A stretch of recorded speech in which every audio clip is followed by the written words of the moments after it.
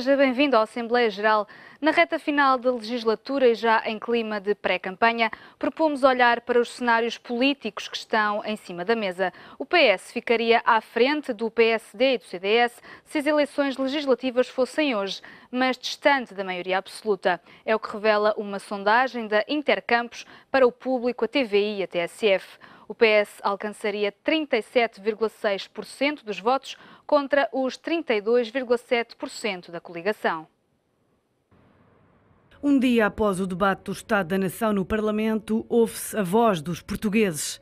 Depois de sondagens que davam um empate técnico entre PS e a coligação, eis que agora uma sondagem da Intercampus para o público TVI e TSF diz que o PS ficaria à frente do PSD-CDS se as eleições legislativas fossem hoje, mas distante da maioria absoluta.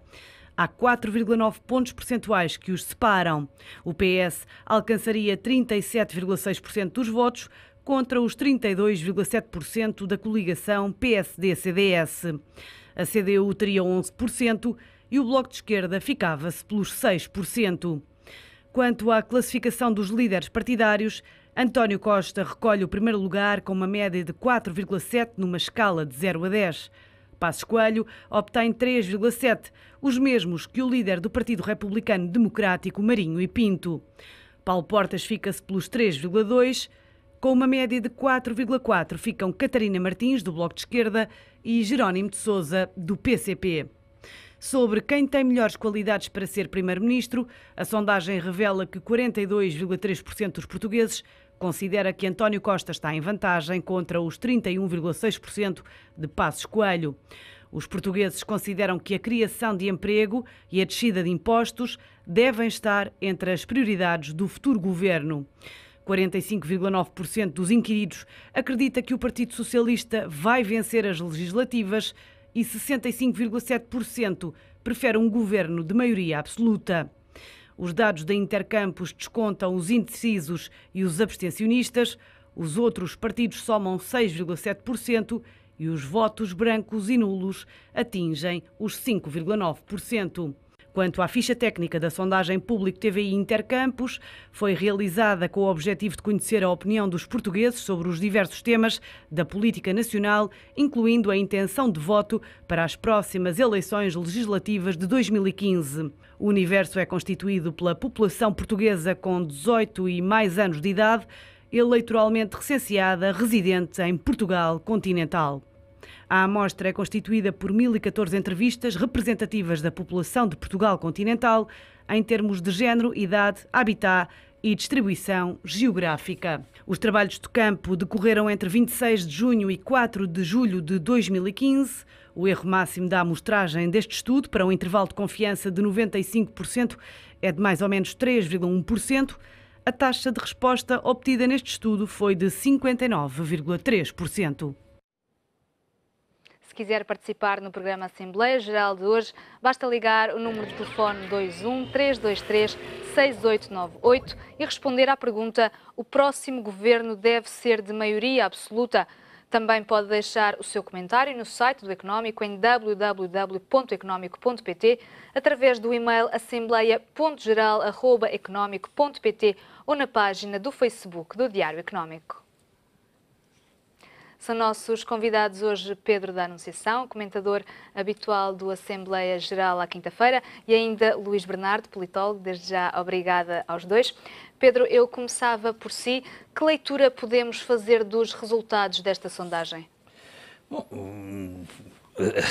a experiência dos últimos tempos ensina-nos a ser um bocadinho cuidadosos com as sondagens, mas repare que a generalidade dos erros nas sondagens da Grécia e, e nas de Inglaterra, das últimas eleições, estão agora apontadas como os exemplos dos erros, mas não erraram propriamente no resultado, erraram na quantidade do resultado. Portanto, se formos pelo mesmo caminho, quer dizer que o PS vai ganhar ainda por mais do que aqui diz, porque esta sondagem uh, ultrapassa a margem de erro que, que eles consideram vamos esperar este, este mês, vai ser sair também a da Eurosondagem para os principais, assim que eles estão a fazer uma sondagem mensal, não é? De, portanto, vai sair também e vamos ver a diferença. Mas eh, eu acho que isto faz sentido. Eu acho que a última sondagem, da Eurosondagem, que punha o PSD-CDS à frente, fazia menos sentido porque depois das outras perguntas sobre quem era mais competente, o, o António Costa ganhava tudo ao, ao Primeiro-Ministro e já nem se fala com o Dr. Portas, que, que, parece desgraçadamente qualificado, o que também é um... repare que o, o Dr. o CDS, acontece com o CDS uma coisa das sondagens que acontecia a seguir ao 25 de Abril com o PC no Alentejo. As pessoas tinham. O PC nunca teve os votos no Alentejo que as sondagens davam, ganhava sempre tudo, mas mesmo assim não chegava, porque era perigoso no Alentejo não dizer que era do PC. Então, aparentemente, as pessoas respondiam nas sondagens e. Com o CDS passa-se o contrário. O CDS tem sempre mais do que as sondagens dão. Tem tido sempre mais, nunca teve o que as sondagens dão. Teve sempre mais, sempre. E, e, portanto, parece que há uma vergonha de as pessoas dizerem que são do CDS, sobretudo desde o tempo do, do Portas, há uma vergonha. Eu sempre me lembro de um conhecido eh, patrão deste país que dizia: ah, Eu acho que não é possível nada votar no Portas, mas sempre votei do CDS. Eu sou de direita, eu quero um partido mais à direita, vou votar do CDS. Mas tinha um bocado de vergonha de dizer que ia votar no partido do Portas. Portanto, eu, eu, seria cuidadoso, mas eu acredito que vai ganhar o PS. Acho que é para aí que tem apontado todas as sondagens, pelo menos desde que o António Costa.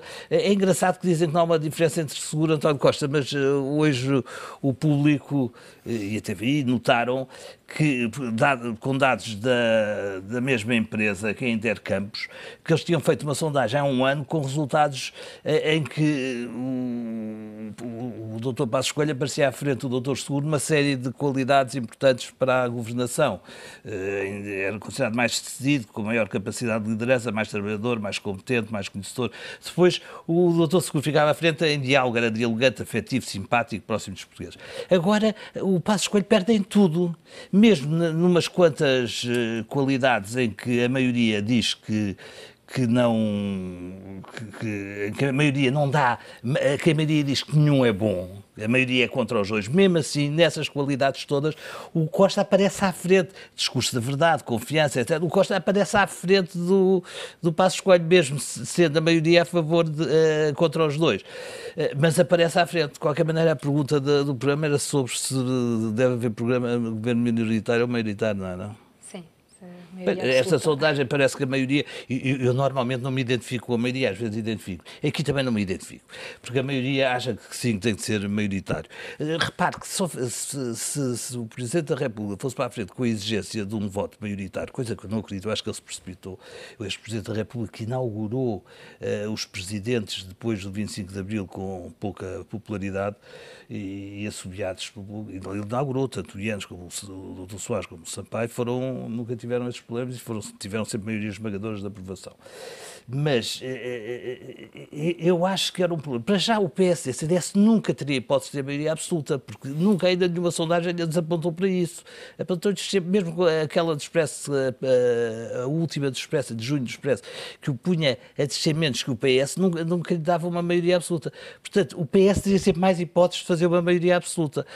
Já vimos que vieram os dois, o Dr. Passos, está bem, está bem. alguns instantes, porque já temos uma telespectadora ao telefone. Boa tarde, qual é a sua opinião? Uh, não sei se está a falar comigo, que com a nova espectadora. Fernanda Abreu, boa tarde, qual é a ah, sua boa opinião? Boa tarde. E agora a minha opinião quando há maioria absoluta, não é? Exatamente. Sim, eu desejo maioria absoluta para o PS. E porquê? Uh, primeiro porque acho que as medidas que foram tomadas anteriormente uh, não foram corretas, a austeridade foi excessiva Uh, segundo, conheço um pouco o Costa, tenho confiança nele. Uh, Parecem-me que as medidas que são melhores, as, as, nossas, as medidas do PS. Juntos vou falar com o PS, não? Muito obrigada pelo seu telefonema. Um, Luís, faço-lhe a mesma pergunta. Partilha de, desta opinião de que esta sondagem, que o PS tem motivos para estar otimista com os resultados desta sondagem? Antes de mais, boa tarde e obrigado pelo convite. Uh, creio que tem razões para estar razoavelmente otimista. Uh, o problema é este. Uh, ontem, o debate do Estado da Nação, teve assim uns, um, uns reflexos ligeiramente religiosos que não deixaram de, de ser interessantes, aquilo que ficou a parecer mais ou menos claro e, e que parece ser mais ou menos consensual por uma franja significativa de comentadores, é que o país não está melhor do que estava em 2011. E desse ponto de vista, o PS parece não ter conseguido adquirir o capital necessário para cavalgar esta onda, é onda de descontentamento, justificado ou não, isso é, é um debate para outra altura, uh, este descontentamento a respeito da, da governação da, da, coligação. E, portanto, seria de esperar, dadas as uh, características do, deste próximo ato eleitoral, seria de esperar também que, dadas as características do, da governação da coligação, que uh, estejamos mais à esquerda ou mais à direita, foi uma governação em tempos dificílimos. Não sei se era possível fazer melhor, provavelmente era, provavelmente não era, também é outro, um debate para outra altura. A verdade é que o PS não tem ganhos suficientes para justificadamente dizer que vai ter uma maioria absoluta e isso deve ser um motivo para, para reflexão. Eu devo dizer que, eh, a respeito desta sondagem, achei o dado da preferência pela maioria absoluta muito interessante. Porquê? Uma sonda... Não foi uma sondagem, foi um inquérito feito entre 2007 e 2008, um, um inquérito a elites. Foi, foi extremamente interessante deste ponto de vista, porque refletiu uma diferença muito marcada entre eleitores e eleitos a respeito da preferência por maiorias absolutas. E ao contrário do que é hoje a sensibilidade da, dos comentadores e do que é a sensibilidade, talvez, da maioria das pessoas, alguma a senhora que acabou de intervir uh, referiu, a maior parte dos, eleito, dos eleitores, naquela altura, preferia maiorias relativas, ou seja, preferia soluções de coligação. Ao passo que uma maioria significativa de eleitos preferia maiorias absolutas. E o argumento costuma ser este, e é um argumento que tem alguma base teórica. Governos de maioria absoluta tendem a ser mais estáveis, tendem a ser mais controlados nos gastos também, embora talvez nós não vejamos isso com tanta ênfase em Portugal, a verdade é que isso também se observa. Isso também se observa em Portugal, não com tanto cuidado como noutros contextos europeus, mas isso também se vê. Portanto, tendo em conta o, os pilares retóricos desta campanha, que serão necessariamente o déficit, a dívida, questões do foro económico, há uma base relativamente uh, forte para dizer que se prefere uma maioria absoluta porque a maioria absoluta garantirá uma governação mais estável e mais capaz de controlar uh, os gastos, mais capaz de controlar uh, aquilo que, que se diz ser o descontrole do Estado Social, embora ele seja questionável, o próprio PS faz disso de algum modo uh, bandeira. E isto leva-me a outra, a outra questão, se deve haver maioria a respeito deste, deste enfoque no, no resultado talvez deva haver maioria se pensarmos apenas em Portugal como uma autarcia, ou seja, hum, se Portugal não fosse membro da União Europeia, se Portugal, se a governação em Portugal não dependesse hoje mais do que provavelmente em qualquer outra fase da sua história europeia, da, da, da história da sua integração europeia, de variáveis externas. Ou seja, o próximo governo terá que lidar com problemas muito sérios, terá que lidar com com questões que fogem largamente à sua capacidade de controle e, portanto, não é inteiramente claro para mim que uma maioria absoluta vá hum, ter resultados muito diferentes de uma maioria relativa, de uma maioria uh, de, um, de, um, partido no governo que tenha que estar constantemente a fazer o jogo do consenso e, e de coligações eventuais, se quisermos. E isso é uma questão importante também. Uh, agora, não, é, esta é, uh, era a ênfase que eu, que eu queria dar entre 2008 e 2015 parece haver uma, uma mudança na, na, preferência dos portugueses. E é uma mudança que, que me parece merecer reflexão por parte dos dois partidos maioritários. Temos mais um espectador ao telefone. Vítor Paulo liga-nos de Lisboa. Boa tarde, qual é a sua opinião? Olha, minha senhora, eu desejo boa tarde para a senhora e para os seus convidados. Eu, eu vou votar PS, porque é o melhor partido que temos, é o PS. O, o, vi ontem aquele escândalo na Assembleia da República de adaptação do Estado na Nação, parecia uma brincadeira de palhaços, desculpa a pressão, mas é assim mesmo que se diz. Numa Assembleia daquelas que é pai da a meio da democracia, estar ver aqueles senhores da direita a rirem-se, o próprio Primeiro-Ministro a rir-se, a gozar com o povo português, aquele a rir-se está a brincar com o povo português, a gozarem. É, é, é, a gente não pode tratar mal eles, mas eles podem tratar mal a gente, está a ver a senhora? Porque aquela Assembleia da República para ser respeitada. É para estar aqueles meninos ali que nunca fizeram nada na vida, foram, já nasceram ricos da barriga das mães e vêm para, vão para ali gozar com o povo português. Não brinquem com o povo português, o povo português não é piegas, como esse Primeiro-Ministro diz, piegas. Piegas é ele. Ele talvez, se calhar, a família dele toda. Os portugueses são trabalhadores, são honestos, são sérios. Ele é que é mentiroso, vai para a Assembleia da República mentir. Nunca se viu um Primeiro-Ministro mentir que ele mente. Manda os, os jovens emigrarem, manda os professores emigrarem, depois vai dizer tudo ao contrário. A tua gente quer um Primeiro-Ministro desses. Ele havia ser expulso. Não há ninguém que... O, o nosso Presidente da República convive com ele. Ele havia ser expulso há muito tempo, é um garoto é um garoto que ele trabalha na firma, andou a trabalhar à borla, para dizer para a televisão que não recebeu ordenado, ele não sabia que tinha que descontar. Então tenho 70 anos, sempre descontei. Ele sabia, um Primeiro-Ministro não sabia que tinha que cumprir as obrigações. Então onde é que viu um Primeiro-Ministro destes? Só em Portugal, hein? Só em Portugal e é que o povo, o povo é anda a dormir. Então, um Primeiro-Ministro que anda todos os dias a mentir, como o Sr. Paulo Portas, eh, o renovável, ainda está num governo, então isto, isto admite-se. O Sr. Vitor, uma camada de aldrabões. Obrigada pelo seu telefonema e pela sua opinião.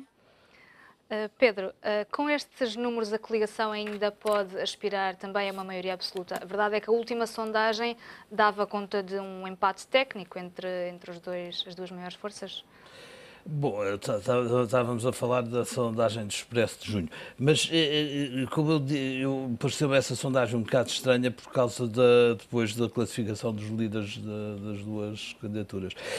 Eu, eu, não, eu nunca vi nenhuma sondagem apontar Diga uma coisa, um, se, se fosse outro líder, mas o mesmo partido, a coligação teria mais hipóteses, acha isso? Talvez, eu admito que sim, eu tinha mais simpatia por, por outra gente do PSD. Eu, eu, gostava de dizer, de qualquer maneira, que a pergunta do programa se é sobre se é, é bom haver maioria absoluta. Eu, eu, vejo que a maioria das pessoas nessa sondagem, 60 e tal por cento, de maioria esmagadora, foi a favor da maioria absoluta.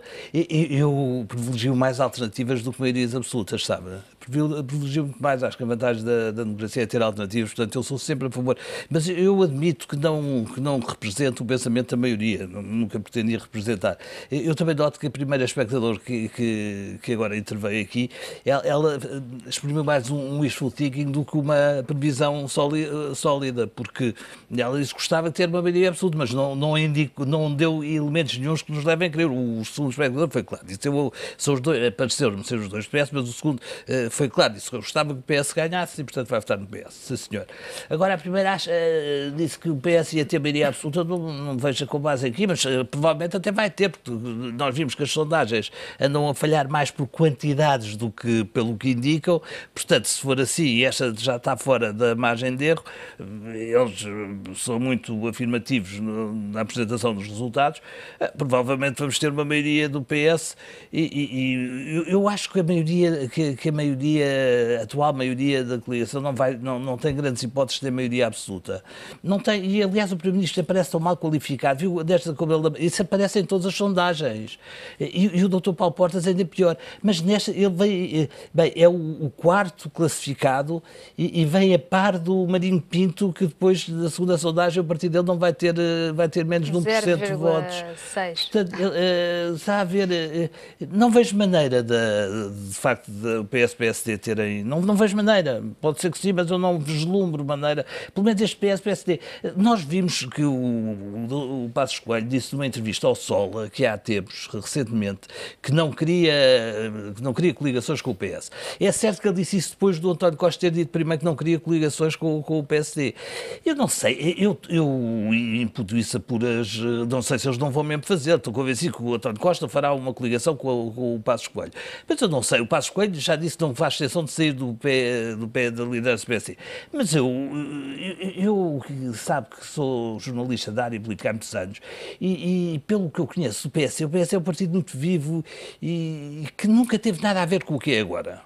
E eu estou a ver o PSD a, a, a chutar o, o Passos Coelho se ele não tiver maioria. Aliás, ele vai ser um derrotado. Se ele não tiver uma maioria, vai ser um derrotado porque ele está a apostar tanto em ter essa, está a fazer, está a ser tão demagogo nas, nas já não falo, ontem naquela, eh, bem, ele fala Pedro, muito no passado, tenho está bem. de interrompê-lo novamente, porque temos mais uma telespectadora ao telefone, Lourdes Augusto, liga-nos da terceira, boa tarde, qual é a sua opinião? Boa tarde, Sónia Senhora, boa tarde para todos. queria dizer que não percebo como é que o país consegue votar numa pessoa que muda de opinião rápida, como Presidente da Câmara, tirando o outro senhor que lá estava, etc. E depois de, de, das TVs serem sempre, uh, terem sempre os mesmos comentadores, como o senhor que está aí ao seu lado esquerdo, que é repetitivo várias vezes, também não é uma coisa que não entendo. Eu só quero saber o que é que o doutor Costa vai poder fazer para repor uh, aquilo que nós já tivemos e uh, se as pessoas têm, uh, quer dizer, eu gosto muito das pessoas que tenham honra, tenham honra e que não mudem de, de lugar ou de, de opinião quando eh, dá jeito para ocupar determinados lugares. E o caso da Câmara é absolutamente maior. Ele concorreu à, à, à, maior Câmara do país e não sei se eh, isso dá jeito, dá a impressão que dá jeito. Outra coisa que eu não sei é se será também com o mesmo vencimento que o Sr. Carlos Costa aqui dos Açores tem um vencimento, ao que parece, e veio no jornal, de 6 mil euros, viagens pagas, arranjou um lugar para a mulher no, no, no, no museu não sei dos quantos, e o filho é deputado. Isto faz-me pensar se a gente andar a de um sítio para o outro, pelo menos este uh, que está, parece uma pessoa honesta, parece uma pessoa que fez aquilo que devia ter feito e acho que os portugueses, pelo menos, lhe devem dar a confiança daquilo que ele fez e eu passei, eu passei, eu sou professora e sei que a minha pensão foi diminuída, mas se resultou para nós não estarmos no caminho da Grécia, acho ótimo. Outra coisa que eu queria dizer é como é que se descobriu agora, só também isto então, acerca das notas dos, eh, de, de, das escolas. É porque há muito tempo, muito tempo, por exemplo, o seu francês veio na televisão, foi chamado a dizer que dava notas brilhantes. E a verdade é que eles entram na universidade com 18 e 19, isto para não ter os médicos, já não quero falar nesses, entram com 18 e 19 e depois saem com 10 e com 11 e com 12. Eu, como professora, quando tinha dois alunos brilhantes na minha sala, é, para mim era uma maravilha, era um, um, gosto fantástico. Como é que se consegue ter esta gente toda com estas notas? Muito obrigada por me terem ouvido. Obrigada. Boa, Boa tarde. tarde, obrigada pelo seu telefonema. Luís, que consequências é que um governo minoritário pode trazer para o país nestes, neste contexto em particular, ainda de alguma instabilidade económica e financeira? Uh, bom, o parece ser mais ou menos consensual entre, entre os politólogos. É uma nomenclatura que não me agrada inteiramente, mas os politólogos parecem concordar que, eh, a respeito disto, o problema não é a infraestrutura institucional, ou seja, a capacidade de formação de, de governos de coligação, como aliás ficou visto nesta última legislatura, não é particularmente complicado. O problema é um problema de cultura política, é um problema de, de capacidade de, negocial, é um problema de capacidade de uh, transcender a polarização social uh, que os eleitos parecem transportar de uma forma aumentada e exagerada para dentro das instituições, porque também parece ser relativamente claro que a sociedade portuguesa não é uma sociedade especialmente polarizada. Essa é uma ficção demasiadas vezes veiculada hum, no Parlamento e noutras, noutras instituições. Não, não sei se, se é uma declaração de, de irresponsabilidade né, do, dos nossos representantes eleitos, mas que parece ser, eh, lá isso parece. portanto, eh, naturalmente haverá obstáculos e serão obstáculos políticos, não serão obstáculos institucionais, porque as instituições portuguesas hum, já levam 40 anos de democracia e parecem estar relativamente habilitadas a lidar com governos de coligação, com contextos de coligação, com governos minoritários. O problema é, é saber isto, é tal como eu referia, o problema de, das variáveis externas, de, de coisas, eh, os desconhecidos desconhecidos, como diria o, o, o, secretário da Defesa Rumsfeld aqui há uns anos, eh, são, são aqueles fatores que um governo, tanto um governo minoritário como um governo maioritário, dados os constrangimentos políticos e económicos de, de que um, um, governo em Portugal padecerá a partir de agora, não tanto um como o outro não saberão lidar necessariamente com eles. Portanto, não importa muito saber se serão maioritários ou minoritários, porque as armas políticas de um governo maioritário estarão, estarão necessariamente constrangidas por, por fatores que lhe são alheios. Institucionalmente, não parece que, que haja um problema de maior, sinceramente. Passo desde já a ler alguns dos comentários que os nossos espectadores nos foram deixando ao longo da tarde nas redes eh, sociais e por e-mail. Fernando Sarmento diz-nos: governo de maioria é a tentação da ditadura. Estamos avisados do que isso significa. Precisamos alargar o leque de representação democrática para dar verdadeiro sentido à democracia. Paulo Magalhães diz: obviamente que sim, caso contrário, ficamos ainda mais desgovernados por um tempo quase indeterminado. Pedro, concorda com a opinião dos nossos espectadores? Olha, assim como os dois primeiros espectadores foram claramente para o PS, a última espectadora, esta senhora Lourdes Augusta, do, dos Açores eh, foi claramente para o PSD. Ela acho extraordinário, apesar da grande simpatia que eu tenho pelo PSD eh, e que não tenho pelo Dr. Costa, como não tinha pelo, pelo Sócrates, eh, porque acho que o caráter é importante na, na política. Apesar da, da, simpatia que tenho pelo PSD, que não tenho pelo Dr. Passos, como insisto, que acabou um curso na universidade dessas mexerucas com quase 40 anos, não foi? Que coisa absurda. E, e, e que andou a prometer coisas e foi fazer o contrário e ela acha que o Costa é que, não sei, eh, cada um vê as coisas como quer, mas eu acho que se tornou claro que ela era para o PS e os outros para o PS cada um é o que é, e se gostam de se afirmar, acho que fazem muito bem. Agora, eu, eu eh, que, não, que nunca me liguei no partido, apesar de ter algumas simpatias por alguns, mas, eh, acho que valia a pena a, a força de uma maioria eh, absoluta ser imprescindível, absolutamente imprescindível, e forçá-la um bocadinho, como o, Presidente sugeriu que ia fazer, se nós fôssemos tomar uma posição na Europa que exigisse, como género da Grécia, uma posição diferente contra a corrente, que exigisse assim uma maioria por. Mas já não me parece que, se, que, que, seja isso que quer nem o, nem o Dr. Passos Coelho nem o Dr. António Costa. Como não parece que seja isso que nenhum dos dois quer, eu valorizo mais as alternativas, como o primeiro destes uh, e-mails que leu, do que a necessidade das maiorias absolutas, como o segundo, uh, que, como o segundo e último que leu, uh, valoriza.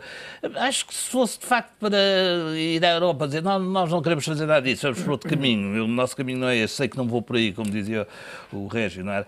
Mas não é, não, não me parece que seja isso. Aliás, um dos trunfos da campanha do PSD tem sido, é muito olhar para o passado e tem sido pegar no documentos economistas para sugerir que, que não. Eu acho que os documentos economistas, apesar de tudo, é bastante diferente do que têm feito na área económica os, os do PSD. Eh, pelo menos dão mais importância à parte económica que à parte financeira, suponho eu. Mas é, é, eles pegam muito isso para dizer que é a mesma coisa e que já agora votem no conhecido, que já sabem que nós cá estamos, já sabem como é que nós fizemos e não vamos para perigos e tal. E sugerem que podem vir aí Sócrates. Está bem porque temos mais um telespectador ao telefone. Américo Pestana liga-nos de Tomar. Boa tarde, qual é a sua opinião? Boa tarde, eh, senhora doutora e senhores eh, espectadores. Eh, eu queria dar a minha opinião também sobre o seguinte. Gostaria que o PSD ficasse, e CDS ficasse com a maioria, mas eu acho que qualquer dos partidos é impossível ficar com a maioria. Por isto, é um, um, Estado de Direito, mas temos que tomar compromissos dos, de, de, tudo o que eh, pedimos emprestado, que é para pagar.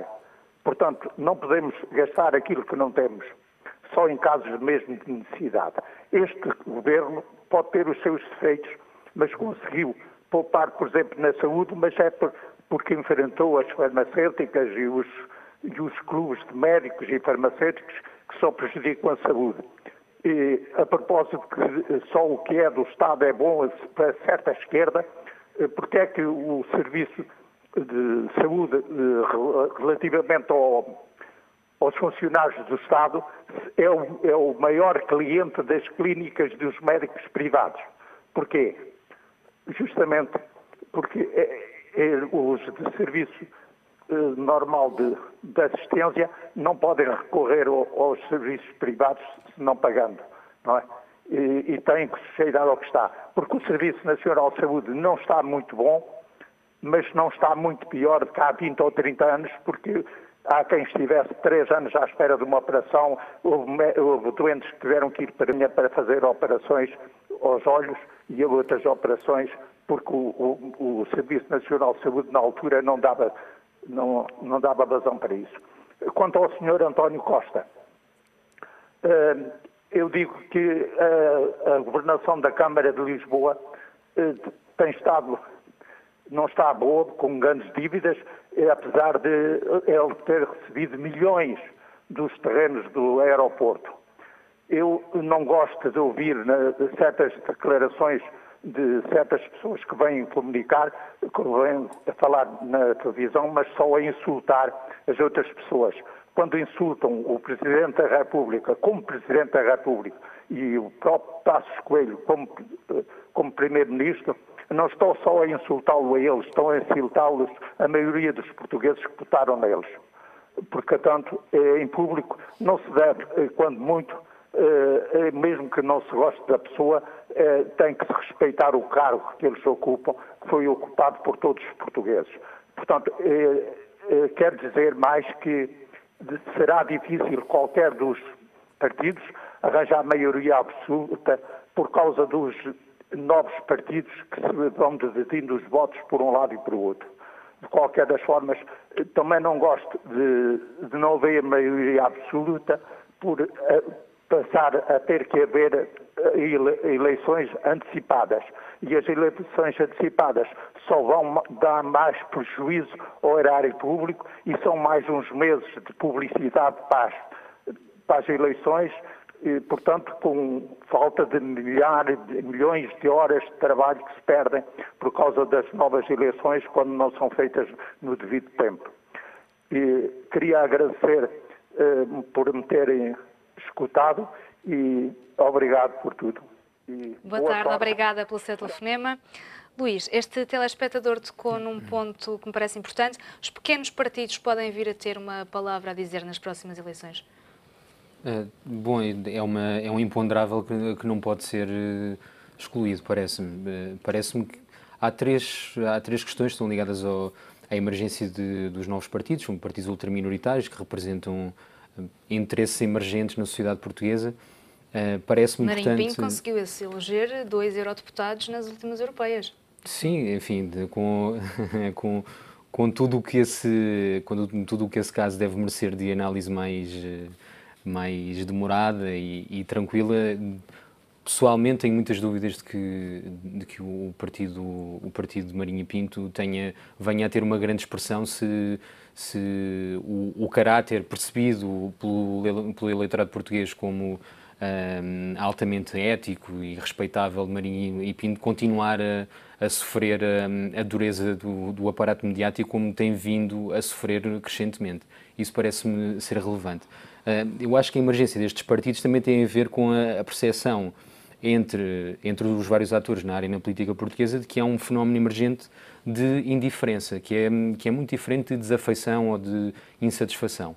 É. António Costa diz mesmo que vão Sim. ser os indecisos uh, que vão uh, ter o papel decisivo, aqueles que decidem à última uhum. da hora em quem é que vão votar. Mas esses não são indiferentes, é, era o, o meu ponto é uhum. precisamente uhum. esse. O, o, eleitor indeciso não é um eleitor indiferente, é um eleitor que está um, que joga o jogo democrático liberal, que, que entende que a eleição é um dever cívico, um, é, tem, tem esse ethos democrático que, do qual não prescindo. O problema é a crescente indiferença de boa parte dos portugueses a respeito de, das instituições políticas. E isso é uma coisa que é um problema que merece, merece uma análise mais aprofundada da parte dos partidos maioritários, mas também parece justificar a emergência destes novos partidos, que tentam ir buscar uh, quadros até um, a estes indiferentes, a estas pessoas que têm cada vez menos afeição pelo jogo democrático, acham que não, que não os afeta, que não é relativamente não é propriamente importante. Queria só acrescentar uma nota a respeito da, da putativa estabilidade do, de um governo de maioria. Eu gostaria só de, de apontar o caso da Holanda, a Holanda é historicamente um, é um governo, é uma democracia de consenso, como, como se diz no, no jargão da ciência política. É, é um, o Parlamento holandês tem quase obrigatoriamente de formar governos de coligação, têm que ser negociadas regras, uh, uh, regras para tudo, têm que ser uh, atingidos consensos em, em, quase todos os subsistemas de, de, políticas públicas e não é por isso que a Holanda é, um país menos tido, tido como menos estável, é um país estável. Portanto, mais uma vez voltamos ao problema da, da cultura política e da polarização exagerada, que é, aliás, ficcionada pelos pelos eleitos. E esse é um problema que me parece merecer uma atenção mais detalhada também. Vamos mais uma vez ao telefone. Temos Maria Filomena de Chaves. Uh, boa tarde, qual é a sua opinião? Olha, a minha opinião, minha senhora, é que o povo português não está bem da cabeça. Porque este, uh, este governo pôs-nos como estamos. Senão estávamos pior do que a Grécia. E o senhor Costa era bem melhor que tivesse calado, porque ele devia ir era para o país dele, para Goa. Porque lá é que precisam de obras e de pessoas que trabalhem. E não andar aqui a, a dizer mal dos que puseram o país inteiro e os portugueses que pensem bem o que vão fazer e que olhem para a Grécia. Porque metendo-se a parte da esquerda dá cabo de tudo. Obrigada e boa tarde. Boa tarde, obrigada pelo seu telefonema. Uh, Pedro, um último comentário breve. Um, Acha que o próximo Presidente da República pode vir a ter um papel fundamental no caso de virmos a ter um governo minoritário? Ah, isso é claro, os governos minoritários, o Presidente da República tem sempre um papel mais importante. Eu, de qualquer maneira, gostaria de deixar. É engraçado porque as pessoas hoje eh, definem-se muito. Esta senhora também vê-se que não, não, gosta do Dr. António Costa, não percebe porque é que ele tem de cubano, mas parece, fez-me lembrar o, o Dr. Jardim chamar cubanos aos continentais. Mas uh, o Sr. Américo pode ficar descansado quanto a duas coisas. Esta saudade aos partidos pequenos não dá grande coisa. Tendo Bloco de Esquerda, que já está há uns anos, portanto já estamos habituados. Uh, a CDU, sim, pronto, tem aqueles votos também eh, de resto, não dá muito, dá-os até muito mal colocados, todos abaixo de 1%, portanto, não, não tem de ficar preocupado com isso. E quanto aos portugueses estarem a insultar os portugueses que elegeram já se viu que muito, a maioria dos portugueses que elegeram este governo não tem sido a votar outra vez neste governo, portanto, também não se vão sentir insultados, devem ser os primeiros a sentirem-se enganados e insultarem o doutor uh, Costa, mas, uh, o doutor Costa, o doutor Passos.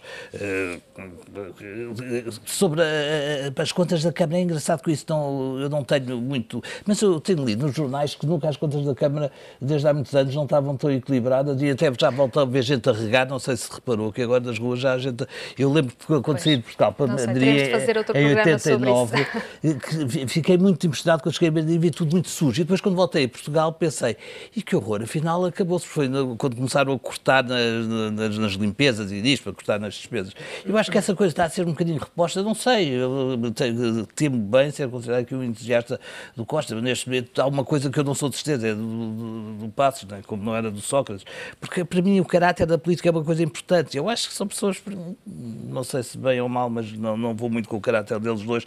Mas tenho visto aqui que as pessoas que, os que apoiam assim apaixonadamente um ao outro, tão apaixonadamente que eu estou completamente fora, não, não corresponde nada àquelas uh, posses, digamos assim. Bem, o nosso tempo esgotou-se. Eu agradeço ao Pedro da Anunciação, ao Luís Bernardo. O Assembleia Geral de hoje fica por aqui. Já a seguir, não perca toda a informação do dia no uh, Grande Jornal. Nós voltamos amanhã. Tenha um excelente resto de tarde.